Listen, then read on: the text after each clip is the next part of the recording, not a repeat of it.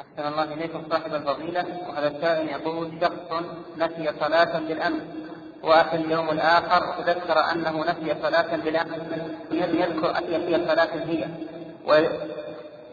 ولم يذكر أي صلاة هي وليس لديه شك ولا يقين فماذا عليه والحالة هذه؟ ليس لديه شك ولا يقين شلون؟ إذا كان تيقن أنه عليه صلاة لم يصليها يجب عليه القضاء. وإذا كان لا يعلم عين الصلاة فإنه يتحرى بهذه ويعين الصلاة باجتهاده يصلي يقضي. أما إذا كان أنه عنده شك أحكام هذا عنده وسواس فالشك لا يجب عليه شيئا.